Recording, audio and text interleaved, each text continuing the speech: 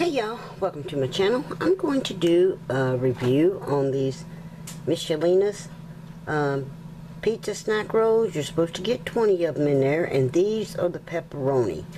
I'm going to follow the directions on back for the oven because um, I did another video on the on this product on a product similar to this and um, I did them in the microwave and they were good but I I've learned that they're better in the microwave. So basically you uh, put them in a pan 425 degrees and you play uh, and you cook them for 10 to 11 minutes. So here's my little pan I've got foil in it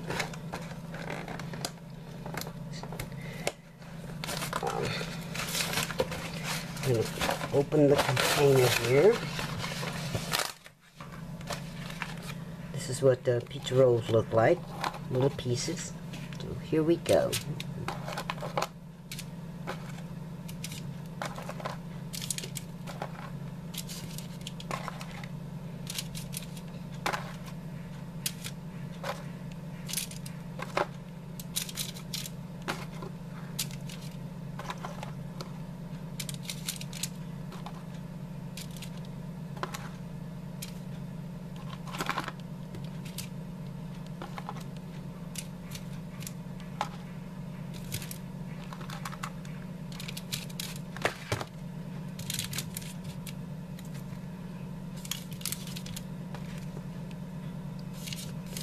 Well, this one's going to have 22. The last ones I did had 23.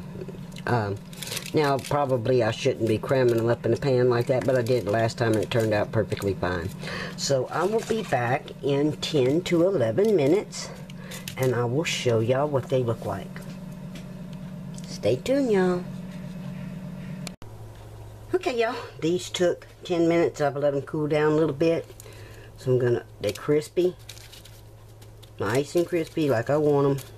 Not soggy like kind of like they was out of the microwave. Wasn't no kind of to it. They were not soggy. So I'm gonna give this a taste. Mm-hmm. Ooh, that's hot.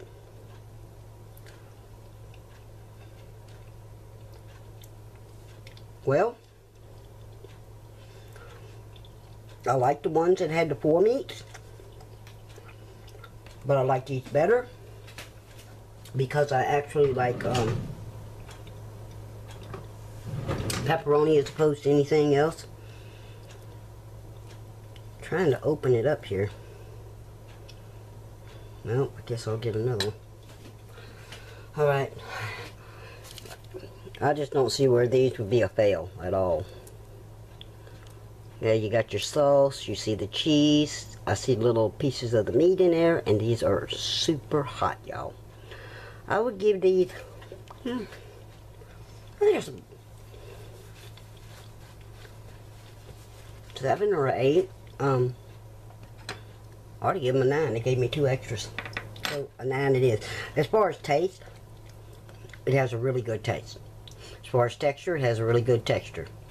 So why I did a set of eight, I'm going to go for a 10 and two thumbs up on this one.